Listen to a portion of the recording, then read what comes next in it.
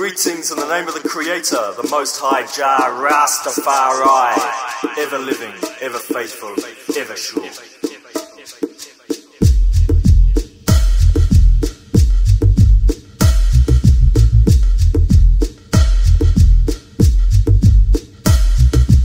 We face a crisis. Human beings today face the greatest threat to our survival that we have ever faced. We face the destruction systems that we depend on to exist. Look around you. The world is awash with toxic chemicals that we continue to manufacture. We plunder the sea. We pollute the air.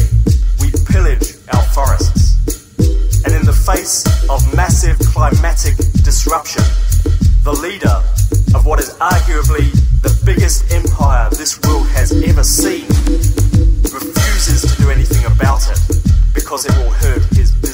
interests. Western industrial society is addicted to fossil fuels. We are junkies to the crack pipe dream of consumerism. Genetic engineering just increases the risk. Hunger and famine stalk the poor, while we deliberately poison the food that the rest of us eat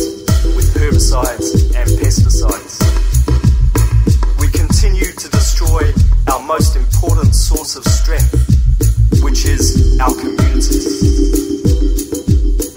We cannot go on like this. We cannot continue. All around the world, people are waking up to the reality that we must change. We must change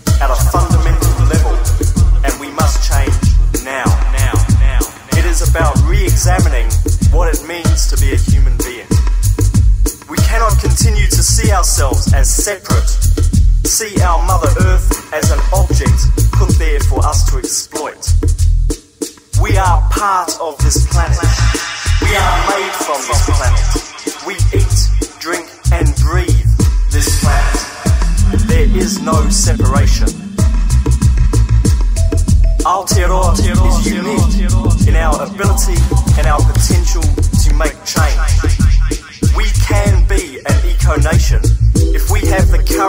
take a stand, to decide for ourselves what kind of country we want to be, what kind of country we want to leave our children, our grandchildren, our great grandchildren.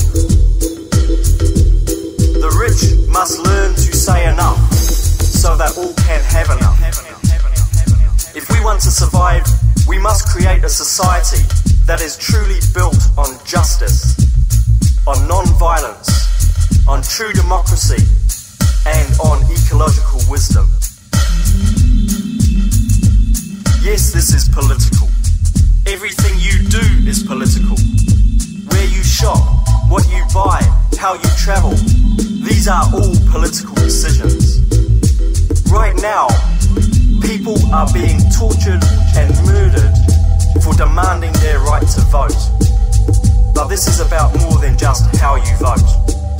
An eco nation must be built at every level of society through our individual action, in our communities, in our businesses,